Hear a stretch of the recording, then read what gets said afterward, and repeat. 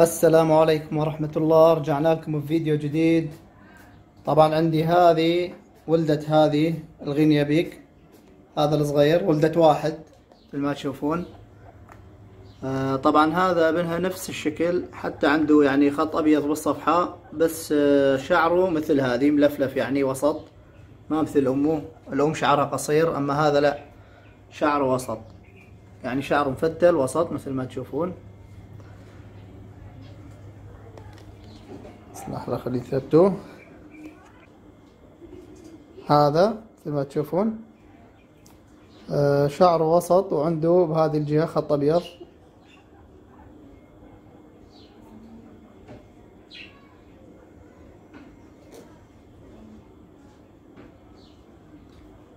ما يبين واضح؟ خليه ياخذ شوية على الضوء. هذا البياض مثل ما تشوفون أكو هذا خط أبيض يمتد إلى القدم الأمامية يعني نفس الشكل مال أمه بس الشعر يختلف. خلي ننزله وين راحت الأم؟ راحت بهذا الاتجاه. طبعا مصور أني قبل ولدت عندي وحدة تذكرون إنه هذا بأول يوم ممكن يأكل خضراوات وشغلات يعني بأول يوم يقدر يأكل. هذا عمره بعد ما صار 24 ساعة يعني اليوم الصبح الظاهر ولدت. بالليل كنت عندهم آه، ما كانت والدة فالصبح شفت هذا موجود معاها. وبالنسبة للطيور طبعا رتبت المحمية مالهم وجبت لهم أعشاش. راح تشوفون شلون رتبنا الأعشاش.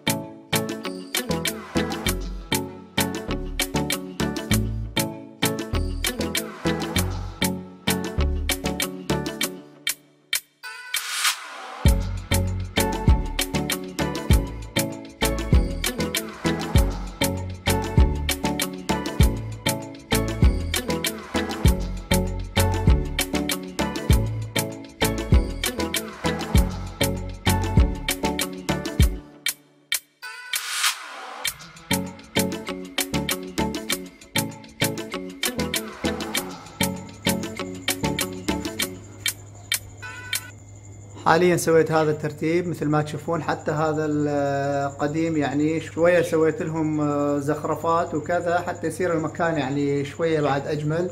وثبتنا هذه الأوراق والورود مثل ما تشوفون.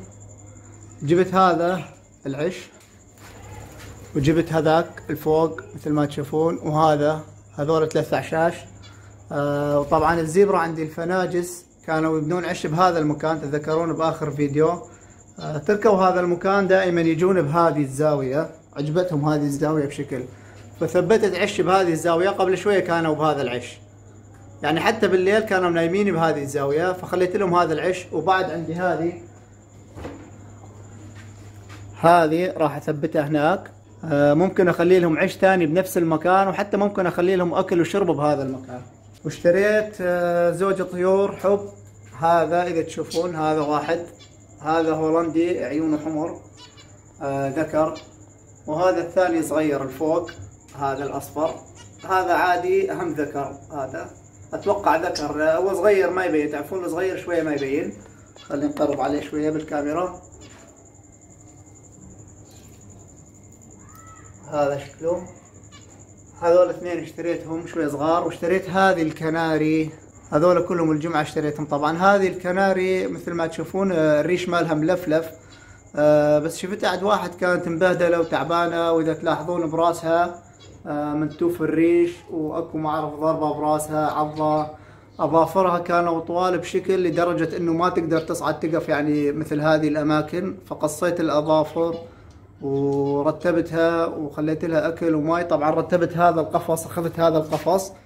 غسلت القفص ونظفته وعقمته وخليت لها أكل خلطة مال كناري وخليت لها ماي حتى تسبح وخليت هذا الماي تشرب من عنده وراح أخليها داخل القفص إلى أن شوي تستعيد نشاط لأن ما عندها القدرة على الطيران يعني ما تقدر تطير.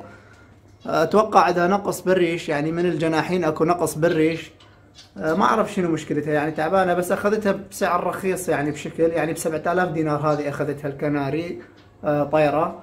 وهذول الزوج صار سعرهم 8000 دينار. هذا هولندي وهذاك عادي. وهذول الاعشاش يعني اشتريتهم هم مستعملين بس كانوا شوي تعبانين فرتبتهم شوية ونظفتهم وخليتهم بهذا المكان مثل ما تشوفون. حاليا المكان صار مرتب. وكان عندي هذا القفص بهذا المكان كنت مخلي به الأكل والمي. فلشت القفص ثبتت هذه خليت لهم أكل ومي بهذه الطريقة مثل ما تشوفون وفتحت فتحة. من هذا المكان وفتحة من هذا المكان حتى يتنقلون براحتهم ويأكلون براحتهم. أما هذه الكناري لا أرجعها بالقفص اخليها داخل البيت إلى أن تستعيد نشاط وشوية آه، يرجع الريش مالها يعني تصير أحلى بعد إن شاء الله. وهم أخليها داخل المحمية. هذا البلبل مثل ما تشوفون.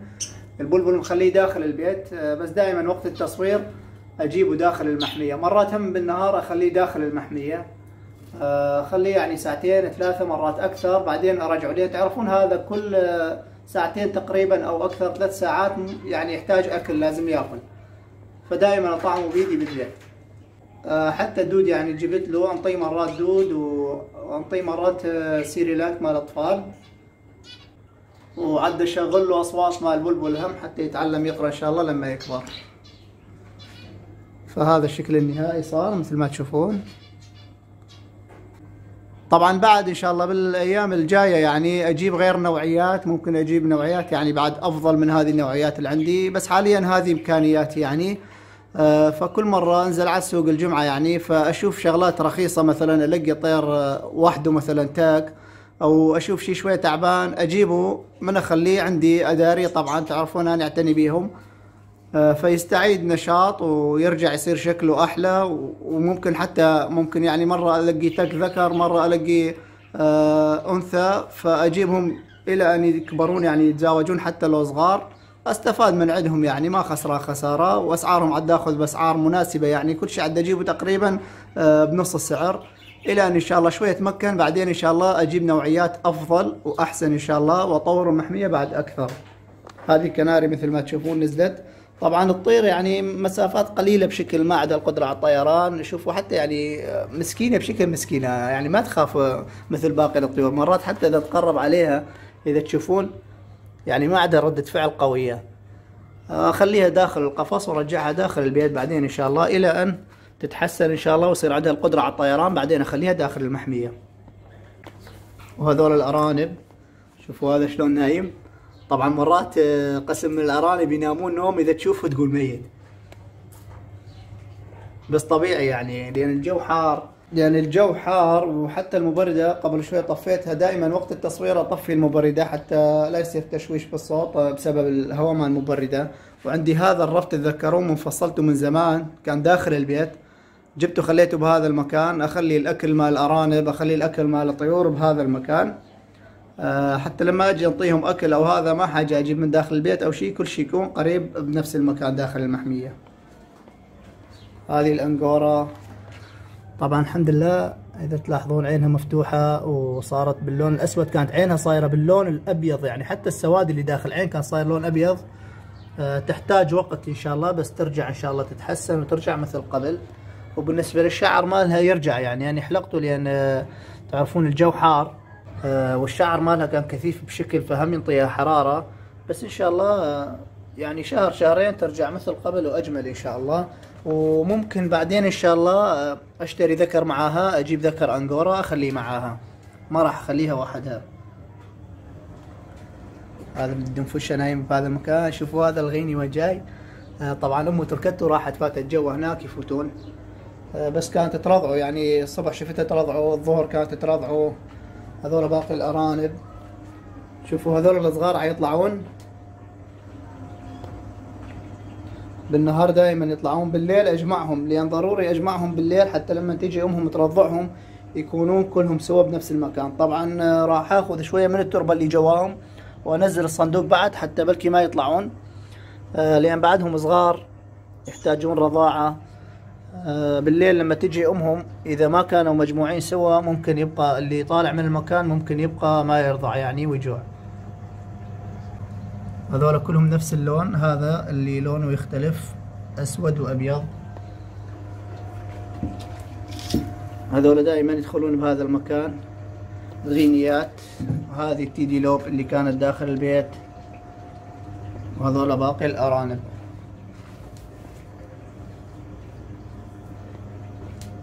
وصلنا لنهاية الفيديو. إذا عجبك الفيديو أضغط لايك واشترك بالقناة إذا ما كنت مشترك. والسلام عليكم.